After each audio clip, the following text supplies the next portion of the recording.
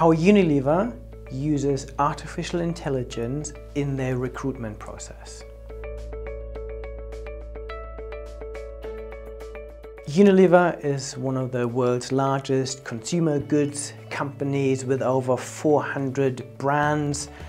They employ 170,000 people across lots of different countries and they recruit around 30,000 people a year. They actually get 1.8 million applications for jobs. So this is a massive operation going through all of them, coordinating this, interviewing people across all the locations.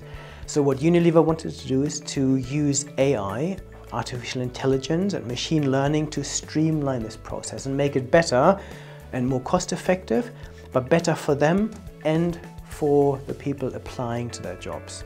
So they tried this for their Future Leaders program.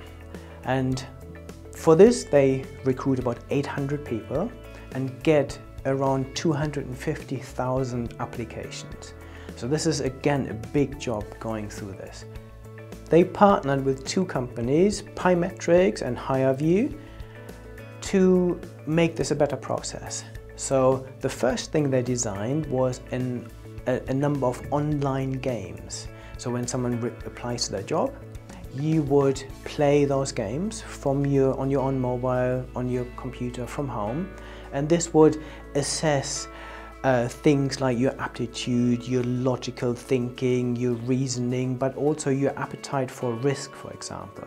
And there would be games like the ones you might have seen before we have to blow up a balloon and you almost like playing blackjack where you say okay I increase this I hold I stick I twist. And then some people might blow this up really a lot where you think oh this is almost bursting. And this gives them a really good idea about your risk appetite.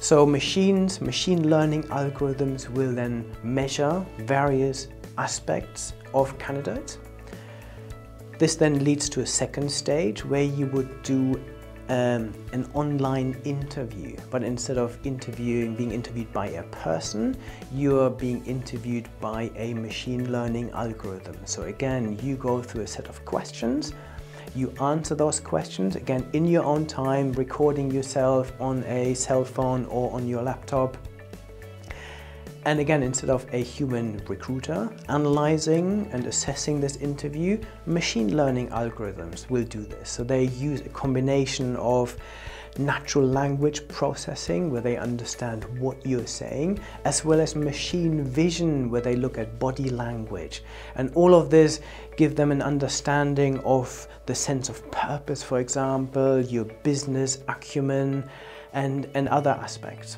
and those processes narrow the uh, applicants down from 250,000 to just 3,500.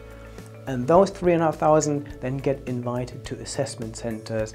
This is where they, for the first time, um, get in contact with real people, real recruiters who then make a choice and pick the 800 that will ultimately be recruited for their leadership program.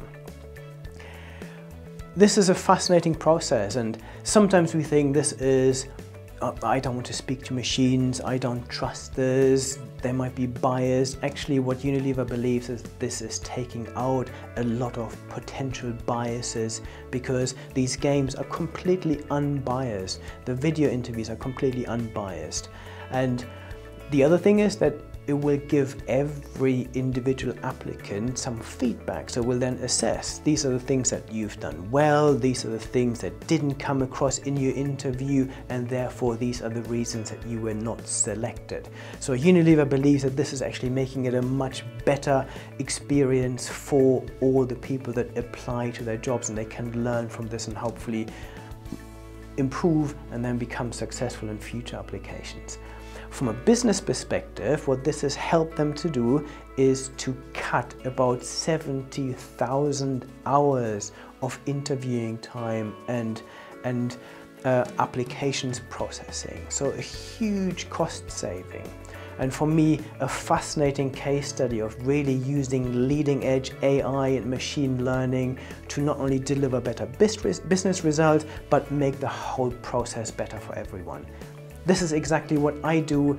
I help clients understand what they can now do with AI and big data, what the leading applications are, and how they can drive real business performance.